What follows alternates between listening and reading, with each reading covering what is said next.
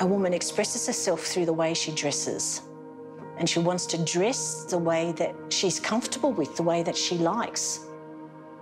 Once a woman has a breast removed, they feel their femininity is compromised because it's a big part of who they are.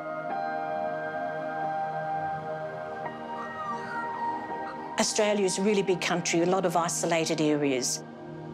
If you live in a very small community, you can feel isolated.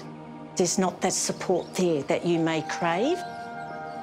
It can be very devastating for some women. Wagga Wagga is a country city with a big rural population around it. And yet there's no one here to provide women with what they need. So I just thought, ah, it's not good enough. I could do something about it.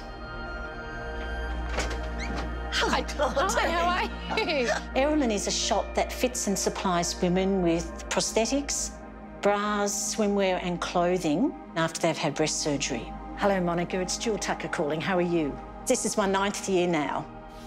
I realised that the business was going national about three years ago. I decided to go online to help country women so they could access products no matter where they live in Australia and internationally as well. I think Erilyn started to take off online when we really got onto Google Ads, and since then it's just steadily grown. and It's growing all the time.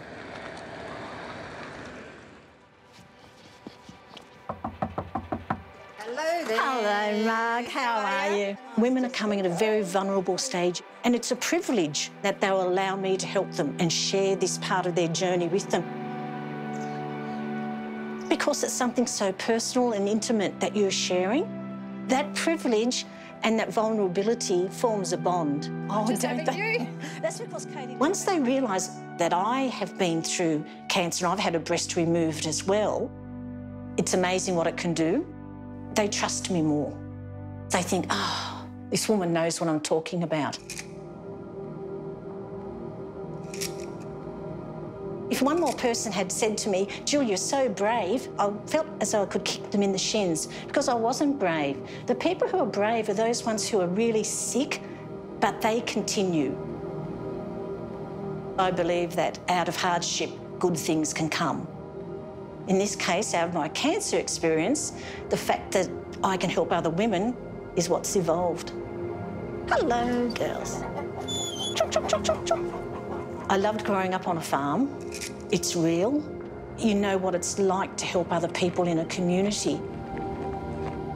Erilyn is my way of creating another kind of community of women which support each other, help each other, get on with their lives.